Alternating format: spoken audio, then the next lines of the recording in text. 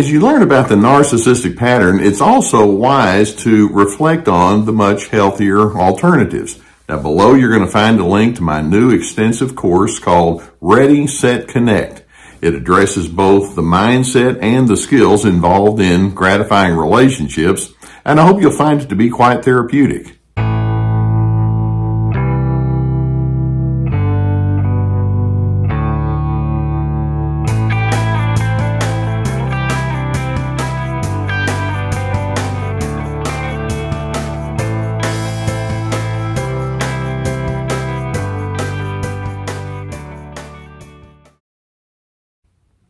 Let's begin today with a very straightforward pronouncement about what we're dealing with with narcissists. And that is, these are individuals who are not exactly what you would refer to as psychologically astute. Now, I'm going to take that notion and build upon it, and uh, we're going to see where this leads us. Because I want you to see that because of their lack of psychological insight, it, it causes them to not see what you and I would consider to be a glaringly obvious pattern. We're going to get to that in just a moment. But first, before we do, I want to see if I can just uh, very briefly walk you through the identifying features of narcissism. And as I do, I want you to ask the simple question. Do these ingredients show any evidence of growth? Do these uh, ingredients show any evidences of uh, maturity and decency? And then we're going to uh, pick up and run from there. For example, when we talk about narcissism, we're talking about someone who wants to deny other individuals the freedom to be who they are so that they can control them. Now, pause right there. Does that make sense? And the narcissist thinks, does to me.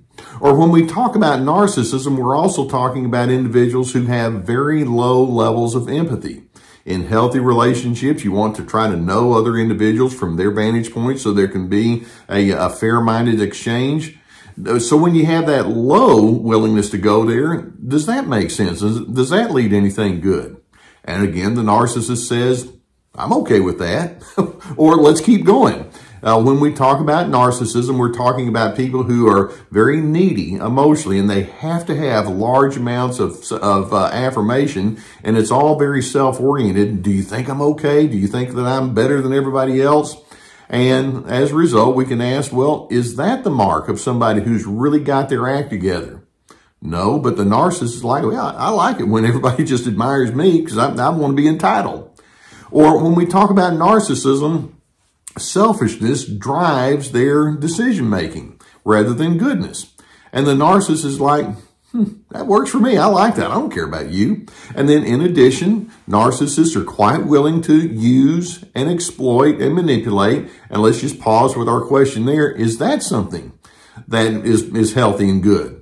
And the narcissist is like, well, works for me. Or in addition, we can say that they have this need to maintain this false attitude of haughtiness and superiority over others. It's not healthy. And then on top of that, then they hide behind the veneer of a false self. I mean, when you take a look at all of these primary indicators that says this is what narcissism is, there's not one single thing in that formula that says this is really good. Now, taking it a little bit further though, we're going to say that when a narcissist looks at how they approach life, what they'll do is they'll say, yep, I'm on the winning team here.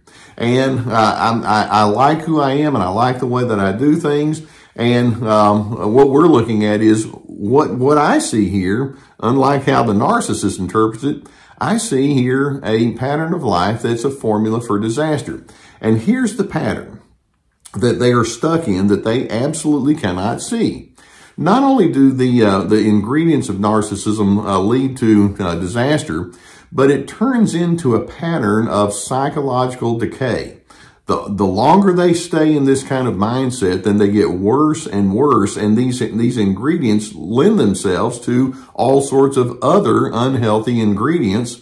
All along the way, though, uh, they, they still proclaim themselves to be the gold standard. Now, when we talk about psychological decay, uh, what we're talking about, just looking at the word decay, uh, it means they're going to fall into their own personal ruin. It means they decline in their own personal, uh, emotional, and psychological healthiness. It means that they have a decomposing of who they are from the inside out. It means that they waste away a good opportunity because it just becomes less and less and less effective. Now, uh, all along the way, we're going to say they don't see this. Uh, notice that when you talk with narcissists about these ingredients that I just mentioned, they're going to insist uh, that they uh, they have the right kind of attitude. They will consistently uh, contribute to the downfall of other individuals, and yet, like I say, they declare themselves to be the standard bearer. Now, whenever you uh, you try to explain to a narcissist, hey, what you've got going on doesn't work, you're going to get one of two responses. Uh, typically, you're going to get both. One is they blame. Well, I wouldn't have any problems in my life if it weren't for you or all these other uh, people in my life that have brought me some ruin. And then second, they project. Uh, in other words, they'll see in you what they don't want to come to terms with on the inside of themselves. Well, uh, if you would get your act together, then I would be okay. If you quit doing this, this, and this, then uh, I'd be fine. And that's part of the decay. They simply will not say, I've got to come to terms with this before it gets any worse. Now, taking this uh, notion that says that they're in a pattern of psychological decay, I want you to see that uh, uh, along with these identifying characteristics of narcissism are what we might refer to as auxiliary traits that come along. For example, uh, when a person is uh, all the way into their narcissism, they wind up having patterns with a lack of civility. They don't treat people well and they don't care. They, they, they lose their sense of conscientiousness. In addition, uh, as part of their decay, they go deeper and deeper into their own anger. They're very easily triggered. They carry a, a, an undertow of frustration. Uh, also, uh, as part of their decay, they go further and further into patterns of cynicism. Uh, they can be very critical toward other individuals, and they've taken the, the notion of finding fault in others to an art form, if you will. Likewise, part of their decay uh, is illustrated by the fact that they're very willing to insult other individuals. And when you think about it, okay, I'm going to insult you, and then that's going to motivate you to be a better person. That's that's the mark of somebody who's going backwards, not forward in the in their way of doing life. Likewise, as part of their decay, they hold on to rigid opinions to the extent that they're stubborn and closed-minded. They can't complex, uh, they can't uh, deal with complexity. Uh, they're very simplistic in their reasoning. Uh, they, in fact, it gets to the point of being very childish. And then they wind up becoming easily dismissive toward other individuals. So whatever possibilities of growth is there goes down by the wayside. And as part of this pattern of psychological decay, what you'll notice is they can't stop the progression. It just keeps going on and they build on it with all of their rationalization. And, and then not only do they not grow, then they go deeper and deeper into pulling you into their pathology. Now, you see, I would like to ask that question. Can't you see, you know, to the narcissist, can't you see that you're being swallowed up by your own self-destruction? And they would say, no, I don't see that. Or I might ask them, well, do you, are you happy with the way that you're living? Look at all these characteristics that I've just mentioned. Do you like being the poster child for psychological rot? And it's like, it works for me. and, and that illustrates that uh, they're so oblivious. They have that lack of psychological astuteness uh, and awareness. And what we find is over time, complete superficiality takes over and whatever uh, possibility for reasoning that they may have, it dissolves. That's the decay that I'm talking about. The narcissist says, I don't need to learn. I don't need to hear what you have to say. Uh, I only have one real problem, and that is I'm surrounded by idiots, and I don't need you to try to tame me. So when I say that they're in a pattern uh, that has all of these ingredients that are not healthy, and then they take it and they say, yeah, this is this is something that's really good. You can see that that uh, that psychological uh, regression has so completely taken over that uh, they're identified by total oblivion. So what we're going to say is the, the longer a person goes deeper and deeper into this uh, uh, psychological decay, they actually wind up becoming cartoon characters. And when I say cartoon characters, uh, you know, when you watch the cartoons, they're, they're distorted pictures of foolishness. That's what we mean when, uh, when we say they're cartoonish, that's the decay.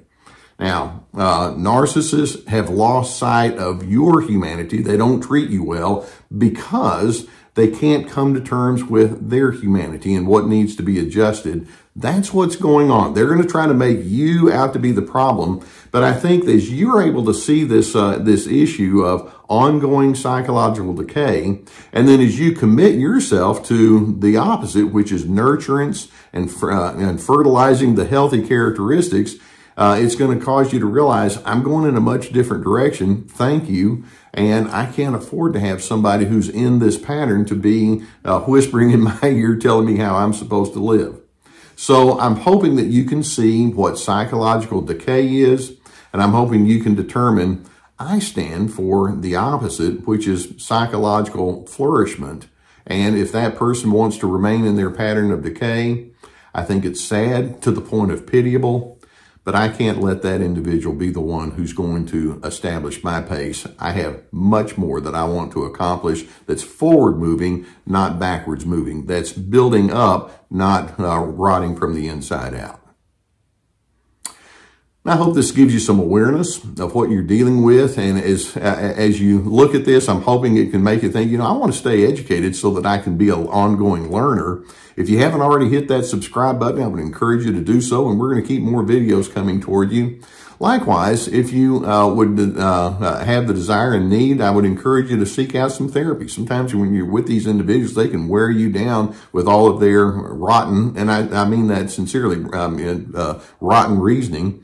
And uh, sometimes it would be helpful for somebody to uh, to work it out with you. I, actually, I, I received a, a, message from somebody that said, um, you know, thank you so much for uh, referring us to uh, therapy. I found a, a, a therapist on uh, the uh, BetterHelp.com website that you recommend, and it's been so good. So I, I love hearing that kind of stuff. You know, I've been sponsored by the people at BetterHelp for years. Uh, it's affordable, it's accessible, and uh, there are plenty of people that you can choose from. And, and if that's a, a, need that you would have, I would strongly encourage you to do that. Go through the link that we have below, and you'll get a 10% discount on the first month and, and get the assistance you need. Likewise, I have my courses uh, that I put together. They're very extensive and uh, they're meant to uh, address these kind of issues we're talking about. Each course has at least 25 videos with written documentation, guided questions, ready, set, connect. It's about making good and healthy connections. Uh, this is me about establishing your boundaries, free to be, finding yourself uh, despite those controllers. And then we also have my webinars. We have my podcast, many articles that are all available on the, the website. And then we have my books. So plenty of resources. Gus has some itching going on there. I hope it's okay. I'll, I'll take care of him in just a moment. Um, uh, uh, thank you for letting me be on your journey with you. And I'm hoping that as you see their, uh, you know, consumption with the decay, I'm hoping it gives you the motivation that says, I want to go in a much better direction. I want to be a person of DRC, dignity, respect, and civility. And in doing so, I hope it establishes you to be that person of steadiness that the narcissist is not able to match pitch on. But nonetheless, I'm hoping it takes you to a good place of peace.